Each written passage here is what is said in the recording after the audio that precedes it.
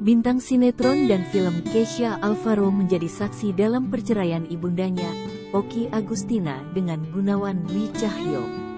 Keisha Alvaro memang selalu bersuara, semenjak dugaan perselingkuhan yang diduga dilakukan Gunawan Dwi Cahyo terhadap istrinya, Oki Agustina.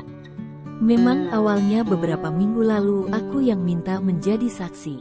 Karena memang aku jadi saksi dari awal pernikahan, viral foto segala macam, perselisihan aku melihat semuanya, kata Keisha Alvaro ditemui di Pengadilan Agama Bogor, Jawa Barat, Rabu, tanggal 27 Desember tahun 2023. Keisha mengaku tak mau jika orang lain yang dipilih ibundanya, Oki Agustina menjadi saksi dalam sidang cerainya dengan Gunawan.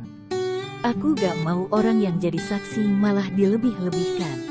Makanya mending aku toh aku sudah dewasa dan bisa, ucap pria berusia 19 tahun itu. Keisha Alvaro Putra Sigit mengakui sempat bertemu ayah sambungnya sepekan setelah foto dugaan perselingkuhan Gunawan viral di media sosial. Banyak hal yang dibicarakan antara Keisha dan Gunawan. Anak sulung Pasa Ungu itu mendengarkan ayah sambungnya memberikan penjelasan soal foto dugaan perselingkuhan itu. Ya dia jelasin ketemu sama cewek itu segala macam. Jujur yang aku lihat ada kesan seakan-akan ini bukan karena dia perbuatannya. Dia ada alasannya melakukan ini, justru menyalahkan balik bunda itu yang aku tangkap, jelasnya.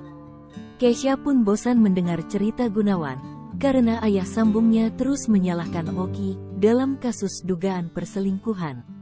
Aku maunya ya mau salah apa gimana, justru aku senang dia mengakui aja perbuatannya malah lebih enak. Tapi banyak alasan jadi pusing dengarnya, ungkapnya.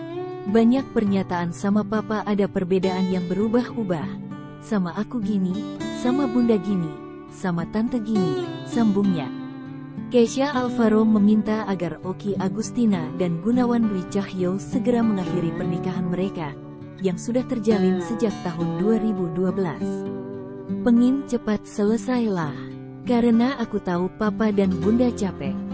Dari awal memang bunda gak mau lama, tapi banyak pihak yang ikut campur jadi lama, ujar Keisha Alvaro.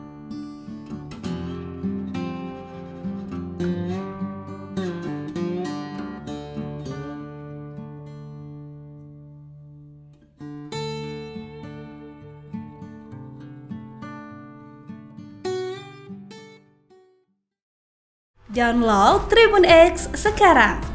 Menghadirkan lokal menjadi Indonesia.